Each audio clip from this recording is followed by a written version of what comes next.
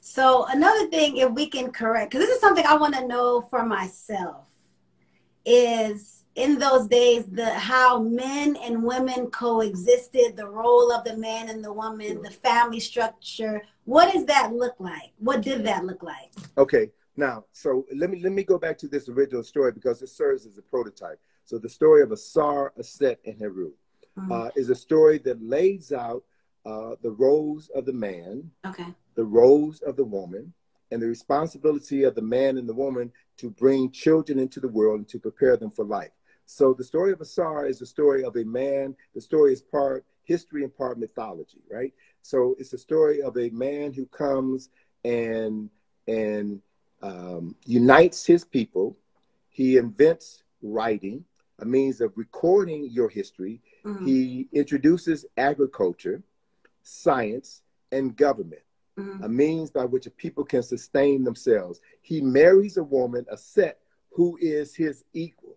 So mm-hmm. this idea of uh, the woman being a helpmate to man, no, the woman is equal to the man because everything exists within a masculine and a feminine form. And it's through the mutual balance or harmonization of these two forms that life comes into existence. It's, mm-hmm. it's simple. One plus one equals two. Yeah, but you see, they throw rocks at us when we say we want our equal. Now we too like we getting ahead of ourselves. Or see, but look, but look, look let's let's uh, again, context is everything. Okay. When we say now we want to be equal to men, the men we want to be equal to are distorted perceptions of European manhood. Mm-hmm. It's not an African man that we're talking about. We want to be equal to.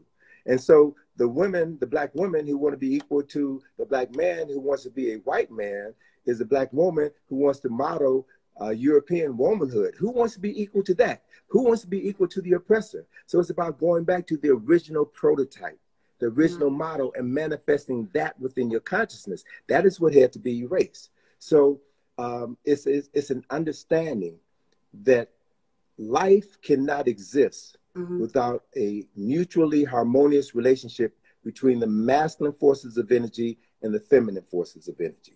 Mm-hmm. Both are required. So that in, yes, in, both are in required. the ancient Egyptian or ancient Kemetic concept, you have the creator, and then you have aspects of the creator that were known as Neteru. And every aspect of the creator was created with a masculine and feminine counterpart. Right. So it's reinforcing this idea of the importance of balance of the masculine and feminine forces of energy. Right. So when Asar died, his wife assumed responsibility for controlling their nation, which means that this woman had to be equal to her husband, not subservient to, to him. So. Mm-hmm. And and so, in order for this legacy to continue, the spirit of Asar impregnated his virgin wife, and she gave birth to her son Heru on a date that is familiar to most of us, December the twenty fifth. Wow.